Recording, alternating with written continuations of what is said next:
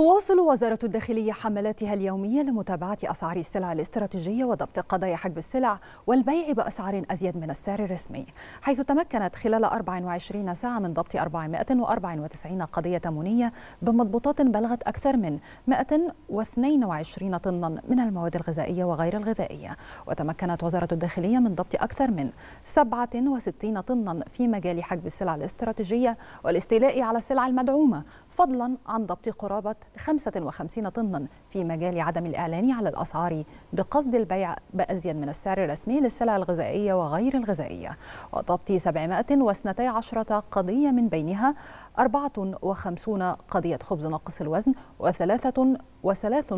قضية خبز غير مطابق للمواصفات وذلك في مجال قضايا المخابز